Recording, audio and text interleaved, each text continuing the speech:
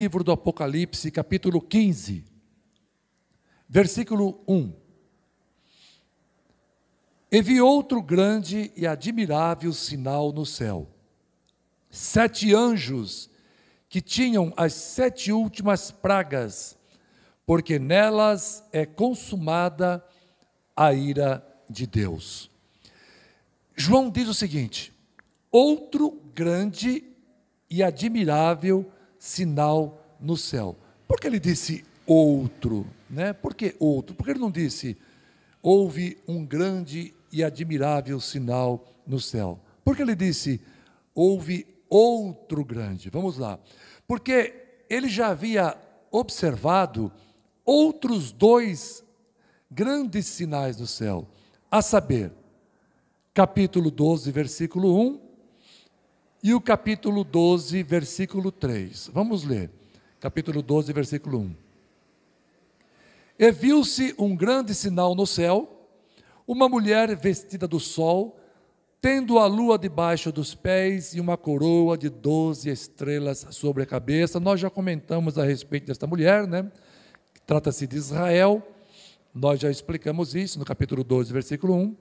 Mas estou apenas citando novamente para vocês é, recordarem for, quais foram os outros dois grandes sinais que João contemplou. E no versículo, capítulo, é, capítulo 12, versículo 3, diz assim: E viu-se outro sinal no céu, e eis que era um grande dragão vermelho que tinha sete cabeças e dez chifres, e sobre as cabeças sete diademas. Nós já explicamos para vocês também que esse dragão é Satanás, sete diademas, diademas são coroas, Tá? Então, é por isso que João disse: E vi outro grande, admirável sinal no céu. Agora, João está observando um grande e admirável sinal. São sete anjos portadores das derradeiras pragas, através das quais Deus completará a sua ira. Esta passagem é semelhante ao registro do capítulo 8 versículo 2. E viu sete anjos que estavam diante de Deus, e foram-lhes dadas sete trombetas. Todavia, irmãos, nós devemos atentar para o fato de se tratar de sete últimas pragas. Houve outras também, tá? Semelhantes, mas essas são as últimas. É o momento conclusivo de Deus durante a grande tribulação tá? Vamos entrar no versículo de número 2. E vi um como mar de vidro, misturado com fogo, e também os que saíram vitoriosos da besta, e da sua imagem, e do seu sinal, e do número do seu nome, que todos já sabem, 666, né? Já falamos sobre isso também que estavam junto ao mar de vidro e tinham as harpas de Deus. João, irmãos, mais uma vez, faz uma pausa na sequência dos juízos e retrata um momento de alegria dos vitoriosos.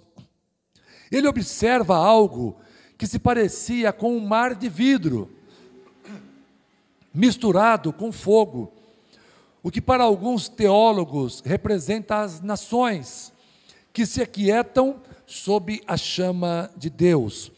Embora também pareça retratar os salvos dentre todas as nações. Quanto aos vitoriosos, tratam-se daqueles que se recusaram a adorar a besta, os mesmos registrados no capítulo 7, versículo 9. Vamos lá. Depois destas coisas, olhei e eis aqui uma multidão, a qual ninguém podia contar, de todas as nações, e tribos e povos, e línguas, que estavam diante do trono e perante o Cordeiro. Já sabem vocês, o Cordeiro é Jesus Cristo. Trajando vestes brancas e com palmas nas suas mãos. Vamos lá. Versículo de número 3. Então vamos ver o que essa multidão, né, essas pessoas salvas, é, o que eles estavam fazendo naquele momento? O versículo 3 está explicando. e cantavam o cântico de Moisés, servo de Deus, e o cântico do Cordeiro, dizendo: Grandes e maravilhosas são as tuas obras, Senhor Deus Todo-Poderoso.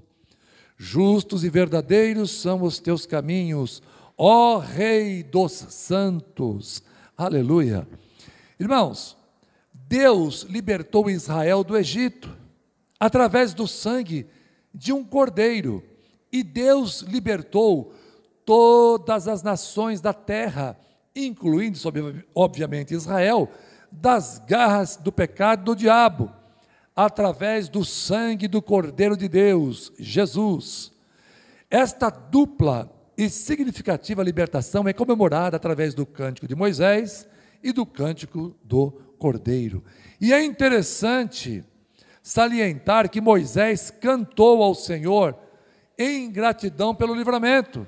Está lá em Êxodo, capítulo 15, versículos de 1 a 19. Hoje, nós vamos estudar o capítulo 15 do Apocalipse, tem apenas oito versículos, tá? Então a gente tem um pouquinho mais de tempo, eu não queria deixar para lá, não.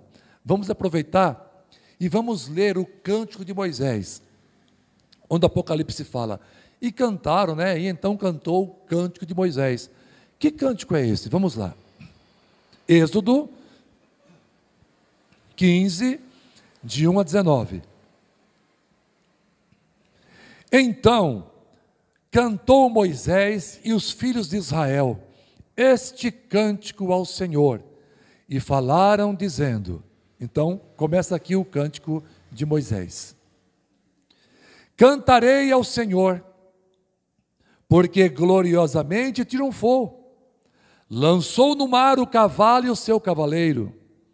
O Senhor é a minha força e o meu cântico. Ele me foi por salvação. Este é o meu Deus. Portanto, lhe farei uma habitação. Ele é o Deus de meu pai. Por isso eu exaltarei. O Senhor é homem de guerra. O Senhor é o seu nome. Lançou no mar os carros de Faraó e o seu exército, e os seus escolhidos príncipes afogaram-se no mar vermelho. Os abismos os cobriram, desceram as profundezas como pedra. A tua destra, ó Senhor, se tem glorificado em poder. A tua destra, ó Senhor, tem despedaçado o inimigo. E com a grandeza da tua excelência, derrubaste aos que se levantaram contra ti, enviaste o teu furor que os consumiu como um restolho. E com o sopro de tuas narinas amontoaram-se as águas, as correntes pararam como montão. Os abismos coalharam-se no coração do mar. O inimigo dizia: Perseguirei, alcançarei, repartirei os despojos fartar-se-á a minha alma deles, arrancarei a minha espada, a minha mão os destruirá. Sopraste com o teu vento, o mar os cobriu, afundaram-se como chumbo em veementes águas. Ó Senhor, quem é como tu entre os deuses? Quem é como tu, glorificado em santidade admirável, entre louvores, realizando maravilhas. Estendeste a tua mão direita, a terra os tragou. Tu, com a tua beneficência, guiaste a este povo que salvaste, com a tua força o levaste à habitação da tua santidade.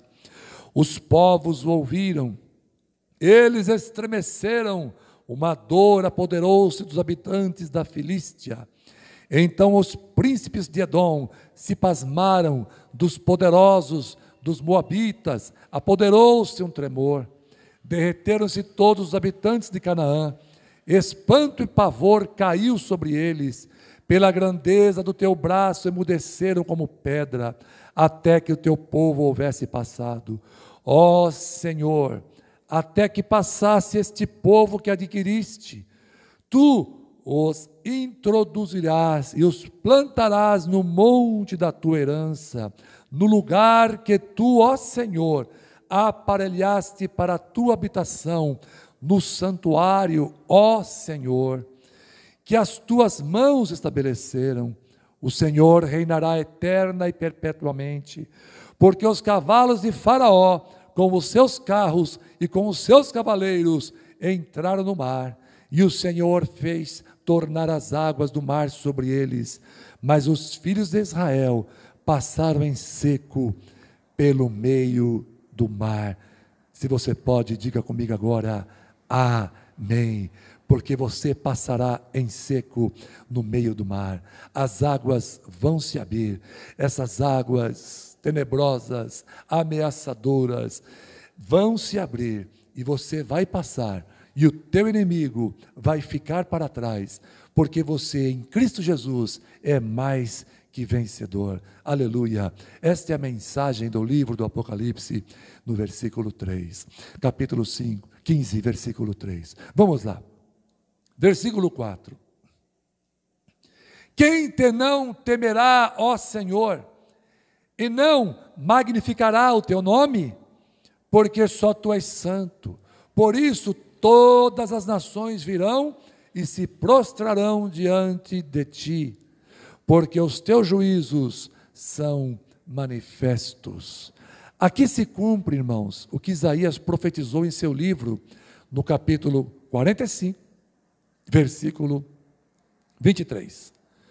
Por mim mesmo tenho jurado, já saiu da minha boca a palavra de justiça, e não tornará atrás, que diante de mim se dobrará todo o joelho e por mim jurará toda a língua. Aleluia. Então, Isaías 45, 23 está aqui é, explicando o versículo 4. Vamos ler os versículos 5 e 6. E depois disto, olhei, e eis que o templo do tabernáculo do testemunho se abriu no céu e os sete anjos que tinham as sete pragas saíram do templo, vestidos de linho puro e resplandecentes, cingidos com cintos de ouro pelo peito. É, lá no capítulo 11, versículo 19, João cita a abertura do templo de Deus, porém agora ele se refere ao templo do tabernáculo do testemunho, o fato de se chamar tabernáculo do testemunho, com um anjo saindo do seu interior, com as últimas pragas, nos faz entender se tratar de um lugar onde o testemunho de Deus será decisivo para o acerto de contas final. Haja vista a rejeição dos povos aos inumeráveis apelos de arrependimento que Deus fez durante o período da grande tribulação. Não, não imaginem vocês, não pensem vocês que Deus tem algum prazer de praticar juízo, de destruir as pessoas, de destruir o planeta, os animais, as águas, todos os seus habitantes. Não, Deus não tem o menor prazer. Tudo isso aqui que aconteceu, que vai acontecer, ou melhor dizendo, na grande tribulação, é Deus trabalhando, é Deus investindo no arrependimento das pessoas pessoas, Deus quer salvar, Deus quer fazer as pessoas mudar de ideia. Ora, agora é momento de ler a Bíblia. Eu não vou ver novela. Agora é momento de oração. Eu não vou me deitar antes. Agora é momento de evangelização. Eu não vou perder tempo com passeios no parque. Eu preciso estar em sintonia com Deus, com a vontade do Senhor. Então Deus está sempre investindo em nossa vida para gerar arrependimento, para a gente praticar as coisas certas, para a gente viver na graça de Deus. Deus. Então, é, o Apocalipse capítulo 15, versículos 5 e 6, está falando isso. Chegou o momento, então, de Deus executar os seus juízos. Ah, depois de tanto que Deus investiu no arrependimento dos homens. Chega aqui a etapa final, o acerto de contas finais de Deus para com os homens. Vamos então ler os últimos dois versículos para nós encerrarmos o capítulo 15 versículo 7 e o versículo de número 8.